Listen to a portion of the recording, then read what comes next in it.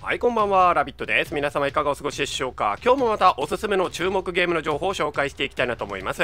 本日の内容はこちら。スペースマリーン2メディアのスコアやレビューが解禁解説する。ということでねいや皆様お久しぶりです。実はですね風邪かと思っていたらコロナにかかっていてまあ、入院するだなんだとかねちょっと応答になってしまったんですけれども、まあ、無事帰ってきたという感じであります。心配してくれたね皆様ありがとうございます。でまあスペースマリン2今日はやっていきたいなと思うんだけれどもどんなゲームかというと超大量の敵と戦う高オプアクションシューターということで、まあ、ワールド・ウォー Z のセイバーインタラクティブがね発売した新作ゲームということになります。2024年9月9日発売予定で今早期アクセスが開始されたという感じです。日本語完全対応で PC と PS5 と XBOX シリーズ X でクロスプレイ対応で発売になるということになっております。で私ももう始めているんだけれどもなかなか面白いなという感じです。えー、このスペースマリン2、Steam の方なんだけれども、なんとですね、派遣を獲得していて、売り上げ1位を取っているんですね。でウィッシュリストも上位の2位に入っているということなので、なかなか注目されているゲームだなという感じなんだけれども、まあ、レビューとかがね、解禁されていて、スコアとかも見る限り、まあ、完璧なゲームではないけれども、やった満足感は高いかなという感じみたいです。でまあ、スコアとか見てみるとオープンクリティックの方では84点がついていて、まあ、92%の人が進めているよとかあとはメタクリティックの方だと、まあ、PC 版83点ということなので、まあ、80点以上取っているということなのでおおむね好評と言っていいと思います。でワールド・ウォー Z タイプのコープシューターということでいいと思うんだけれどもワールド・ウォー Z とはまた違って近接戦闘とかが多いかなということなのでアクション主体のゲームという印象ですね。でメディアの方の評価もうちょっと見てみると IGN とかでは8点がついていて、まあ、グレートということなんですね。8点がついているということはなかなか有料ゲームということでいいと思います。でゲームスポットの方でもやっぱ8点がついていて完璧ではないけれども悪いゲームじゃないしむしろいい方だということなんですね。ゴッド・イザ・ギークとかだと9点がついていたりするんですね。なのでやった人はあ面白いなこのゲームと。面白さを見出せるゲームなんじゃないかなという印象です。こんな感じでねうちのチャンネルでは海外のゲーム情報とか新作のゲーム情報を詳しく突っ込んで紹介したりしておりますのでもしちょっとでもね参考になったという方いたら高評価とかチャンネル登録の方よろしくお願いいたします。私もまだ始めたばかりなので何とも言えないんですけれどもやってる限り悪いゲームではないなという印象ですしワールド・ウォー Z タイプのゲームとしてはいいんじゃないかなという印象です。えー、スコアの方もうちょっと詳しく確認していくと、まあ、メタスコアの方では83点。これは PC 版のスコアなんだけれども43個のレビューが来ていて83点ということで、まあ、これはまだ上下するかなということだけど80点以上でいいんじゃないかなという印象です。で、まあ、ユーザースコアはまだ出てないよというところなんだけどで XBOX シリーズ X だと82点。で PS5 だと81点ということだけどこれはまだコンソールの方はレビューが27個とか16個しか来てないのでまだ変動するかなって印象がありますね。で面白いのがその他のゲームと違って極端に嫌いだっていう意見がないんですね。バットがなんか40点だ30点だとかそういうのはついてないので、まあ、やった人はみんな面白かったよっていう感じですよね。でオープンクリティックの方いつものように見てみると、まあ、84点でマイティを獲得しているということでで92%ほとんどの人が進めているゲームだよということになります。えまあそうねそうだねって感じですね、本当 なんかものすごい神ゲーっていうほどまだやり込んでないから分かんないんだけれども、まあ、やった感じだと、まあ、すごいボリュームありそうだなと、やり込み要素すごそうだなというのはすぐ分かりましたね。で、アクションはまだ1クラスの最初の方しかやってないから、スキルとかアンロックしてビルドとかできたらすげえ強くなりそうだなみたいな感じはあったので、すごく楽しいんじゃないかなと期待しているというところですね。でレビューの方もうちょっと詳細見ていくと、まあ、いつものように自動翻訳かけてみたので英語で見るよりは分かりやすいと思うのでちょっと自動翻訳でね面白翻訳にもなっちゃったりしてんだけど見ていきたいなと思います。で興味深いのがやっぱりポジティブが多くて今後がちょっとあると2件あるだけということでネガティブがないんですね。だこれが本来のレビューのスタンスになるんじゃないかなってことだと思うんだけれどもとにかく極端にその割れてはいないということですよね。スター・ウォーズ・アウトローズとかだとポジティブの人たちもいればネガティブがバーン増えて真ん中がいないみたいなミックスが全然いないみたいなさそういうこともあったりするので好き嫌いがはっきり分かれちゃうタイプなゲームとそうじゃないゲームあると思うんだけどこのスペースマリン2は万人受けするのかなという印象です。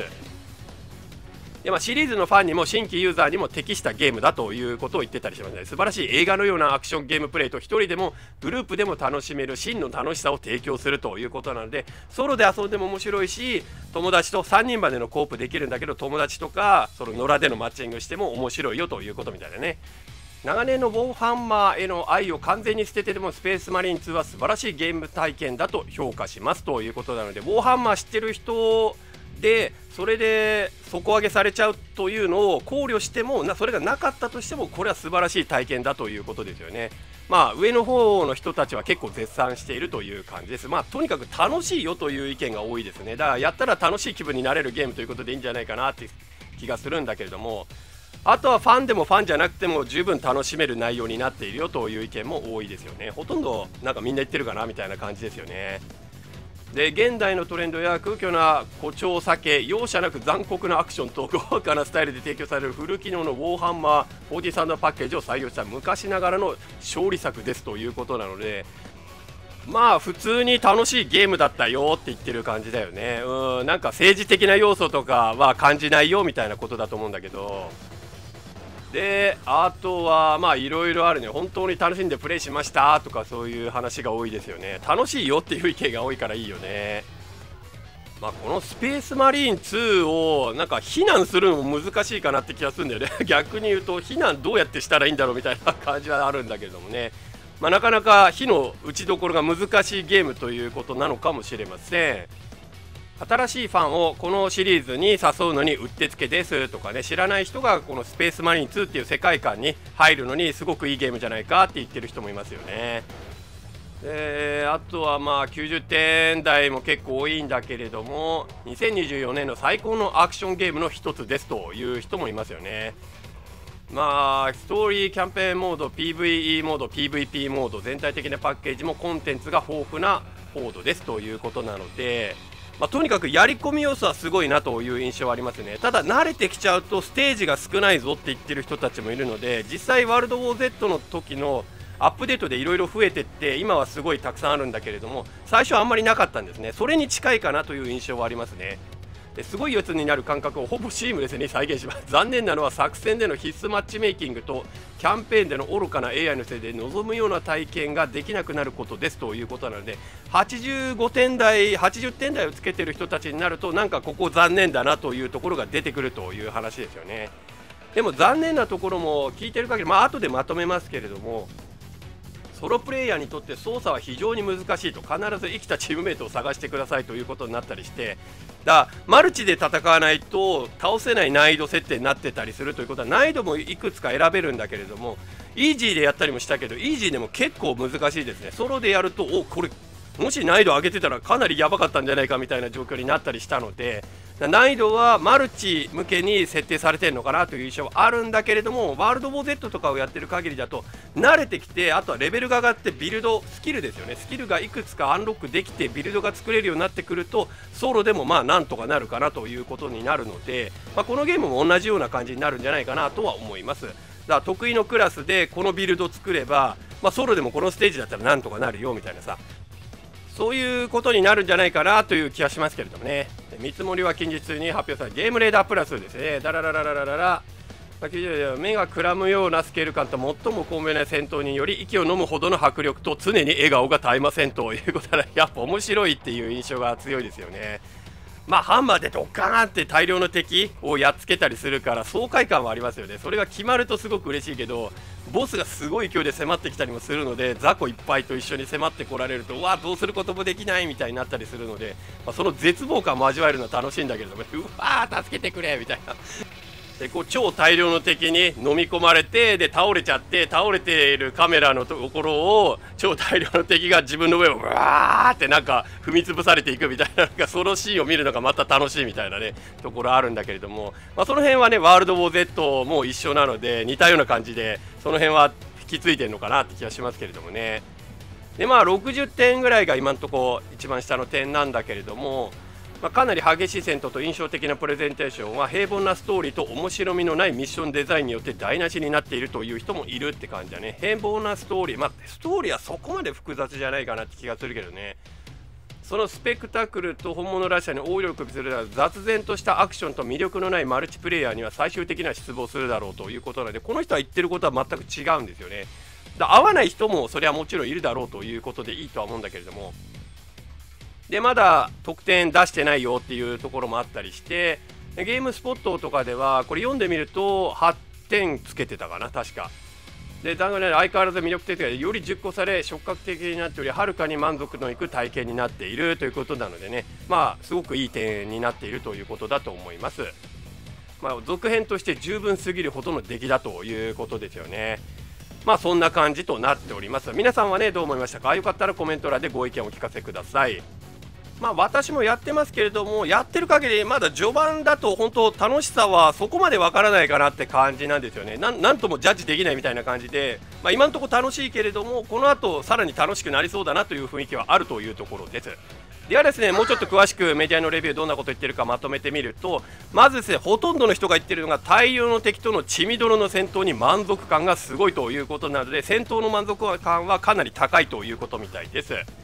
で世界観とグラフィック特に建物とかの細かい作り込みとかそういうのが素晴らしいという意見が多いですね。これはねもうほんとおおって思うぐらい景色が良かったりその景色がいい中を大量の敵がわーって動いてたりということなのでねそれがバックグラウンドの中絵とかムービーみたいじゃなくてちゃんと動いてるな一個一個いるなみたいな印象があるので、まあ、そこはさすがスウォームエンジンだなというところですよね。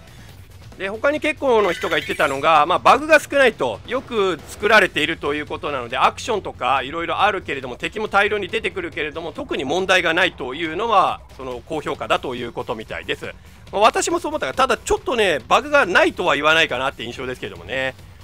であとはスキルとか武器の RPG 要素ですよね。アンロック要素、まあ、ハクスラ要素もあったりするんだけれどもそれがねいろいろあって楽しいということみたいです。クラス限定の武器になったり限定つってもいくつかのクラスでかぶったりしてるんだけれどもなんかクラスごとに装備できる武器とかがいろいろあってそれが全部ワールド・ボー・ゼットとかだと全員が全部装備できたりするんだけれどもこのゲームだとクラスごとに限られたりするのでそれが選択肢が減っててなんかたくさん用意はされてるんだけれどもあんまり多くないなっていう印象を与えてしまっているという意見もあったりしましたね。すいません。まだちょっと喉の調子がおかしいので 声がおかしかったりするんだけれどもね。まあ頑張っていきましょう。それではですねネガティブな方の意見もちょっとまとめていくとまあやってった人の意見だと思うんだけれども最終的にキャンペーンのマップがやっぱもうちょっと欲しいなという意見があったりしました。これはさっきも言ったんだけれどもワールド・ウォー・ゼも発売当初は、まあ、このスペースマリン2と同じぐらいしかなかったんですね。でアップデートのために増えていって最終的には倍近いボリュームのマップが追加されたということになります。なのでスペースマリン2もそれはね期待していいんじゃないかなという印象です。であとはボスの種類がもっと欲しかったりもうちょっとたくさんのボス戦があったらいいんじゃないかなという意見も多かったです。私はまだ最初しかやってないのでわからないんだけれどもボスが確かに出てくるけれどもボス戦があんまり増えていくとどうなのかなって気はするんだけれどもね。でも種類は多くない。出すんだったら種類は多くないとちょっと寂しいかなって気はしますけれどもね。であと他にあった意見がストーリーがいろいろやろうと説明したりしようとするのは分かるんだけれどもちょっと幅を広げすぎて詰め込みすぎていって分からないところがあるとみたいななんかはしょりすぎみたいなところがあるって感じなのでもうちょっとフォーカスしたストーリーにした方が良かったんじゃないかという意見もあったりしましたね。で後半いきなり難易度が跳ね上がることがあるということで、まあ、バランス調整ですよねバランスが悪いところがあるという意見もあったりします。まあ、同じ難易度でやってったのにここだけなんかこの難易度じゃないぞみたいなそういうことだとは思うんだけれどもまあ後半まで進めていくとそういうところがあるんでしょうという話です。でそれに関連してくると思うんだけれどもソロソロプレイには厳しいんじゃないかという印象もあるみたいです。これはだから急に難易度が跳ね上がってソロじゃ倒せないぞこいつみたいなさ。でマルチにした途端にやっつけられたみたいななんかそういうことだと思うんだけれどもまあオンラインコープがあるゲームはそういうところあると思うんですけどもね。ただワールド・ウォー・ゼットを元に話しますけれどもレベルを上げていってスキルをちゃんとアンロックしてビルドをしっかりすればそれでもねソロでもなんとかなったりするので多分それ前提にレベルマックスも上がってでそのビルドちゃんとしたビルドを作れるようになったの前提でそのボスは作られている可能性、まあ、ボスだけじゃないと思うんです。ステージそのものが作られている可能性もあるので、まあ、レベルが上がっていくとソロでもなんとかなるんじゃないかなというのがワールド・ウォー・ゼットな前作というかこの会社の出している同タイプのゲームの話になるのでこれもそうじゃないかなという印象は私受けたのでというのはスキルツリーとか全く似たり寄ったりな感じのシステムなんですね。武器の成長システムとかだからワールド・ウォー・ゼットをかなり意識して作られているゲームだと思うので多分やり込んでった上でも楽しめる難易度になってるんじゃないかなって気はしますけれどもね。まあそんな感じとなっております。皆さんはねどう思いましたか？よかったらコメント欄でご意見をお聞かせください。でまあ、ウォーハンマースペースマリン2これ面白そうだけど大量の敵と戦ってみたいけどちょっと値段が高いという人もいると思うんですよね。なかなか1万円近くするんですね通常版で。でゴールド版で1万4000円とかそんな話になっちゃうので。まあ、この似たようなタイプのゲームやりたいけれどもちょっと高すぎるなという人はぜひねワールド・ウォー Z の方半額以下で買えたりするのでワールド・ウォー Z の方ねうちのチャンネルではよく扱ってるんだけれどもぜひチェックしてみてください。概要欄にねリンク出しておきます。でまあ、うちのチャンネルでは月曜日と水曜日よくワールド・ウォー Z の参加型配信とかもしているのでね気になる方は覗いてみてやってください。